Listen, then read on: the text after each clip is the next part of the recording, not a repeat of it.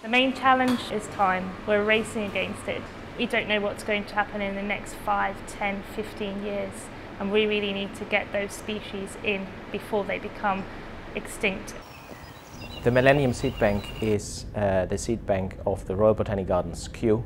We are the hub of a global conservation network collecting and conserving seeds of wild plant species. We have already banked about 15% of the world's bankable flora.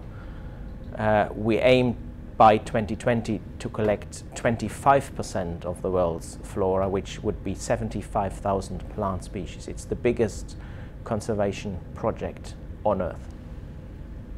The Millennium Seed Bank works with 150 partners worldwide. Each country defines their own priorities for collection.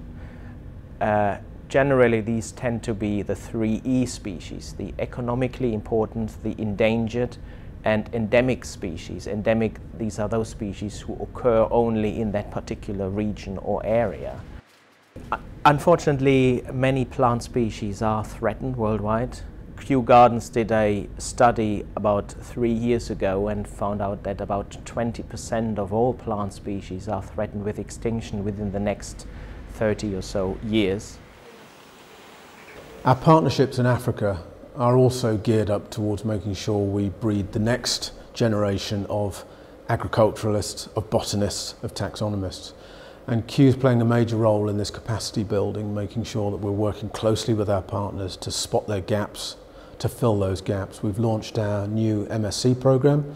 We have a number of African colleagues coming over to join us for that MSc program. The Millennium Seed Bank Partnership, at the heart of the partnership, not just about seed collecting, but to make sure that our institutions, our partner institutions have this capacity to help them get on and do the job. That's what's going to make it sustainable every week, almost every day, it's our birthday because we receive um, parcels from our collecting teams across the world. I find it always very interesting just to see from where those seeds arrive. So this is just a random selection of crates here in the dry room. So here, for example, this is uh, from South Republic of South Africa, a batch from Italy. We have Chile here, the Philippines, further down South Africa again. They arrive with courier service. Um, they are then unpacked and checked. Uh, we measure the initial moisture content of the seed and then they go into the dry room. The seeds stay in this room for a few weeks or months and that's the best way of slowly drying them to uh, about 6 to 8% absolute moisture content, which is the ideal condition in our experience of then freezing them for long-term storage. Kew's Millennium Seed Bank is not just a repository of seeds, uh, it's an active seed bank where we actively research our seed accessions and wherever possible we make those seeds available to researchers for, for example, use in forestry, in agriculture, for uh, future crop breeding, um, or to plant those seeds back into the landscape.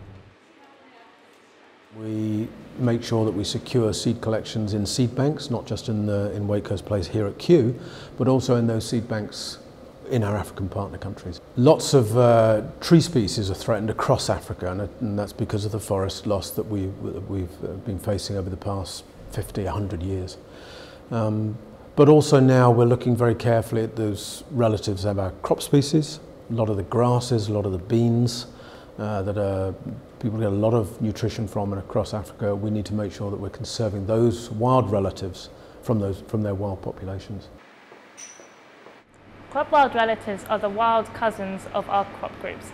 They're found in their natural habitats and they contain gen a genetic diversity that we don't find in the crops that we can cultivate today. They haven't gone through the bottleneck breeding procedure, so they contain all the wild genetic traits that we might need now and in the future to produce new varieties to tackle against climate change.